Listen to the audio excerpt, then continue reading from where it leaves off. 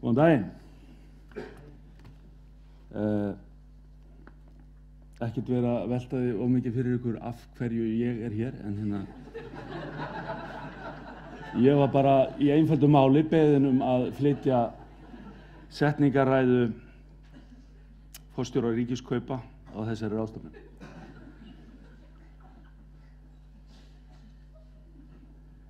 Verðilegu þingmaður, Guðlaugur Þór Þórðarsson, ágætur ástefnu gestir.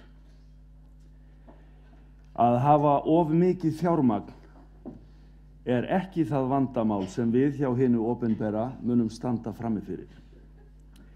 Korki nú nýja í framtíðinni. Hvernig má það vera? Er ekki hrunið yfir og feit ár framundan? Jú, en staðvendin er svo að ríki og sveitarfjölug munu aldrei hafa næga peninga til að gera allt það sem krafist er af borgurum þessa lands. Kröfuharðir hagsmuna aðilar munu halda áfram að hinta stærri sneið af þjóðarkökunni með nýjum kröfum sem þjóna þeirra eigin hagsmunum. Innspýting á einu sviði en samdráttur á öðru verður árlegt brauð. Fjármagn ríkisins verður því alltaf takmörkuð auðlind sem fara verður vel með. Í því fælst mikil áskorun fyrir innkaupa fólk hins opinbera.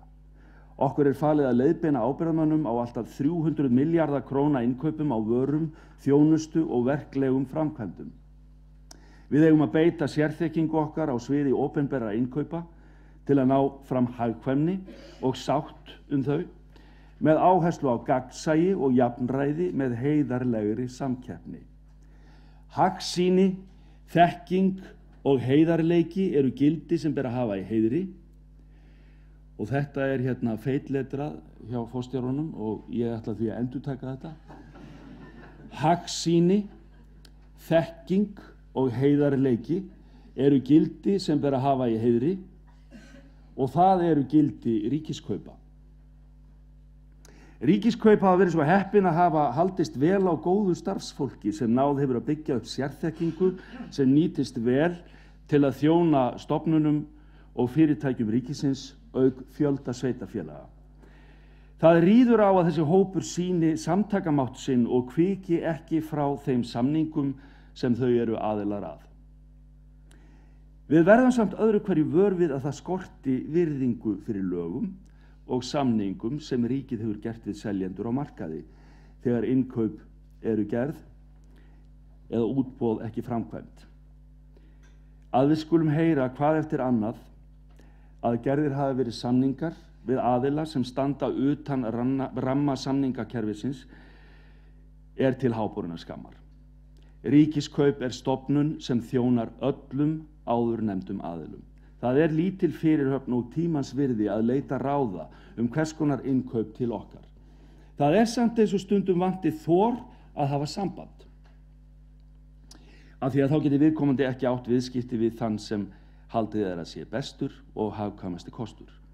Hve oft höfum við ekki heyrt dæmi af því að kaupandi taldi sér trúum að hann hefði gert betri kaup utan samnings, jafnvel við skráðan samningsaðila. Þetta er vanþekking á því hvernig svona kerfi virkar.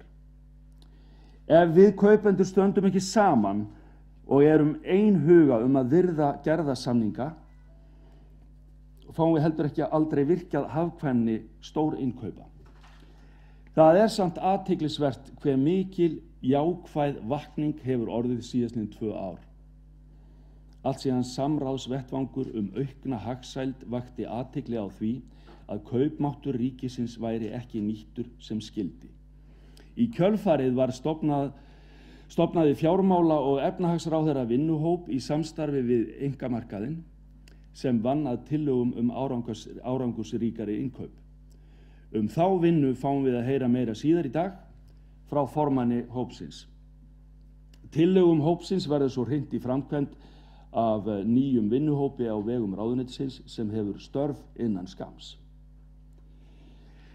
Það var síðan mikill styrkur að fá í fjárlega nefnd talsmenn sem bera skinnbrað á þá vannýttu möguleika sem felast í útbóðum og réttri notkun ramma samninga.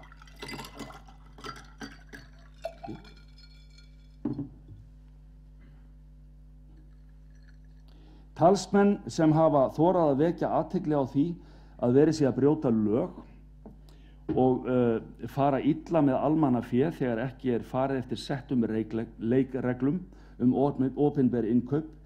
Þess vegna höfum við fengið hinn ötula talsmann Guðlög Þór Þórðarsson, varaformann nefndarinnar, til þess að fjalla um þessi mál frá sínu sjónahortni hér á eftir. Nefndin kvartaði sáran yfir því hver hægt gengi að fá áreðanlegar innkaupa upplýsingar úr upplýsingakerfum ríkisins.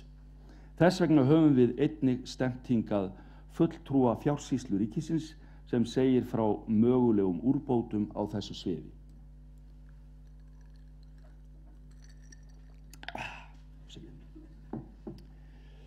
Tíðrætt vakning um ofinber innkaup hefur opnað augu margra sem nú þyrstir í meiri þekkingu á þessu sviði. Sem dæmin má nefna þá hafa um 90 manns sótt þau tvö námskeið um ofinber innkaup sem stopnun stjórnsýslu og stjórnmála hafa haldið í samvinnu við sérfræðingar ríkiskaupa í oktobermánuði. Það er mikil þörf á að ebla þekkingu almennt á þessu sviði. Ekki bara meðal innkaupafólks, heldur einnig meðal fjárveitingavalds og æðstu stjórnenda ofinbæra stopnana. Eins og heyra má, þá stöndum við frammi fyrir margþættum áskorunum. Ég get ekki látið hjá líða að minnast á eina stærstu áskorun sem er framundan, en það er innleiðing nýrar tilskipunar um ofinber innkaup. Hún verður vantanlega innleitt með breytingum á lögum um ofinber innkaup sem vonandi verða samþygt á vormánuðum.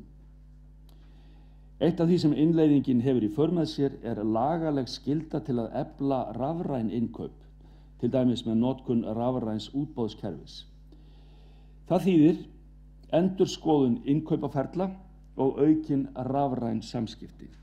Markmiðið er að gera ferlana öflugri, skilvirkari og hagkvæmari. Það á, það á að gera þá snjallari. Það þýðir strömlínulagari, einfaldari og gagnsæri ferla með minni skriffinsku og faglegri vinnubróðum kaupenda. Breytingunum er ætlað að auka samkeppni með einfaldara aðgengi seljanda. Sama frá hvaða EES landi þeir koma. Að, sem sagt, eh, að auka samkeppni með einfaldara aðgengi seljanda að ofinberum kaupendamarkaði annara landa. Nýju lögin eiga ekki síður að auðvelda ofinberum aðilum að ná öðrum mikilvægum markmiðum sem tengjast félagslegum markmiðum, nýsköpun og vistvænum innkaupum. Það er áhugavert að þessi rástefna verður að stórum hluta til einhver norrætni innkaupavíku með áherslu á vistvæn innkaup. Opinber innkaup eru viðurkend sem ein af virkustu leiðum til að ná miklum árangri til verndunar vistkerfa jarðar. Við munum því heyra fjölmörg áhugaverð erindi um hinn margvíslugu áhrif sem opinber innkaup hafa á Íslenskt samfélag. Ég vona að þið njótið vel þeirrar fræðslu og skemmtunar sem 13 fyrirlesarar okkar bjóða upp á í dag. Ég segi ráðstefnuna setta.